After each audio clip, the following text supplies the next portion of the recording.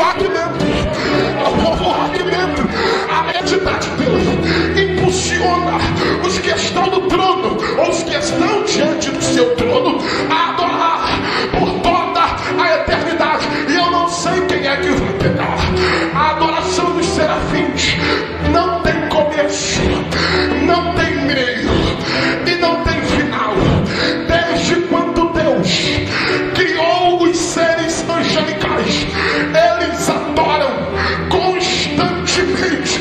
Diante do seu trono.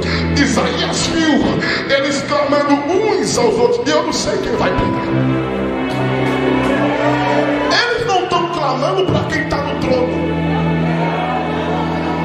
Eles estão clamando uns aos outros. Peraí, pastor. Se o santo está no trono, por que, que eles não estão clamando para quem está Primeiro que eles estão de rosto coberto. Porque só quem aparece na adoração é aquele que está sentado sobre o trono. Segundo, eles clamam, eles clamam uns. Se eles clamam uns aos outros de rostos cobertos, por que, que não colide? Por que, que não se encontram? Estão de rosto coberto. E eles não estão clamando para quem está no trono, eles estão clamando uns aos outros. E eles voam, não estão parados. Então o que é do meu Pai?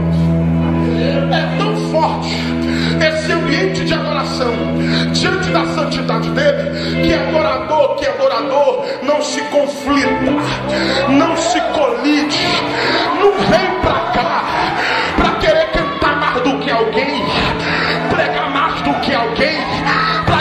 você é bom, para dizer que você vira, para dizer que você faz, porque aqui a glória não é tua, aqui a glória é para aquele que está sentado. E eu vou falar, eu vou falar, Juninho, quem canta para se aparecer é quem canta para entreter os seus ouvintes. E adoração a Deus não é entretenimento, a